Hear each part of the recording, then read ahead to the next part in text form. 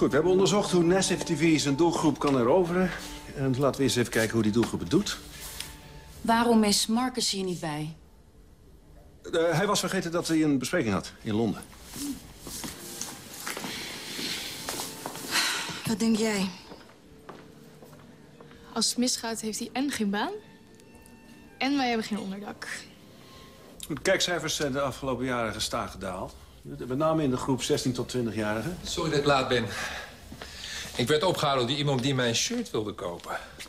En ze zijn er nog wel, hoor, de fans. En wij gaan er nog meer veroveren.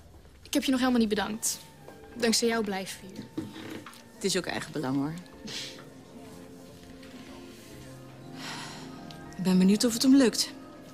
Je hebt leugens, je hebt uh, grote leugens en je hebt statistieken. TV maken gaat maar om één ding. Passie. En die moeten we zien terug te vinden. Vooral door er zelf heel veel passie in te stoppen. Dat lijkt me een goed idee. Maar ik wil nog even terugkomen op wat je zei over leugens. Volgens jou zat Marcus voor een bespreking in Londen.